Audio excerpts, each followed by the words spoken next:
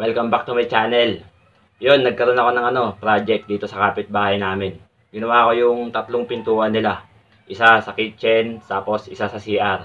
Madali lang yung dalawa kasi nabaklas lang sa bisagra eh. So, inayos ko lang at kinabit ko na ulit. Ang challenging sa akin dito guys, yung sa main door nila. Inanay kasi yung hamba. So, kailangan na siyang baklasin at palitan. Eh, may screen door na rin yun. Tapos yung doorknob, sira na rin, ba, kaya kailangan palitan. Napaka-challenging, napaka-challenging nun guys kasi first time kong ginawa yun. Although may alam naman ako idea sa pagkakabit ng hamba, iba pa rin talaga pag ikaw na yung gumawa. So yun, sana kung may mapuna kayo sa ginawa ko, comment nyo lang sa baba. Pero bago natin panoorin yung video, kung bago ka pa lang dito sa channel ko, click mo na yung ano, subscribe button, saka yung notification bell, para lagi kang updated pag may bago akong mga posts. Right, let's go.